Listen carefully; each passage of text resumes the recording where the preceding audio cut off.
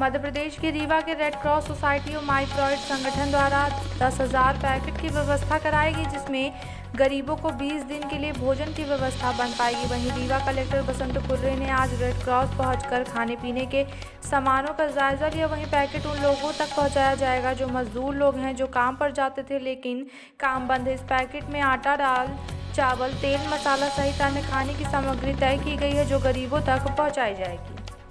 ये आज क्या वितरित किया गया है आप लोग के द्वारा सरकार को? एक जो वैश्विक आपदा कोरोना की आई है, पूरी दुनिया त्रस्त है उससे। सबसे ज़्यादा लोग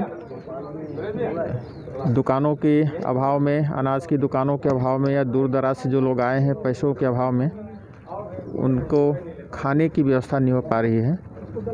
तो रीवा माई प्राइड और यहाँ के सभी जो सामाजिक संगठन हैं, रेड क्रॉस और सबने मिल के ऐसी योजना बनाई कि ऐसे भूखे लोगों के लिए कहीं भी किसी भी तरह से, किसी को भूख से परेशान नहीं होना पड़े। तो दस हज़ार पैकेट की व्यवस्था जिसमें एक पैकेट में 20 दिन की भोजन की व्यवस्था है, लगभग एक परिवार के लिए 20 दिन के लिए भोजन की व्यवस्था है, उसके 500 पैकेट अभी हमारे पास आए हैं, जिसका अभी कलेक्टर साहब को लोकार्पित किया गया है।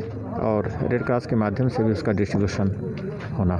किन किन एरियो में करा जाएगा कब से? ये शहर के लगभग सब लगभग जो स्लम एरियाज़ हैं दिहाड़ी मजदूर गरीब बस्ती के लोग और ऐसे लोग जो बाहर से भी आए हैं किन्हीं कारणों से जा नहीं पाए हैं उनको चिन्हित किया गया है।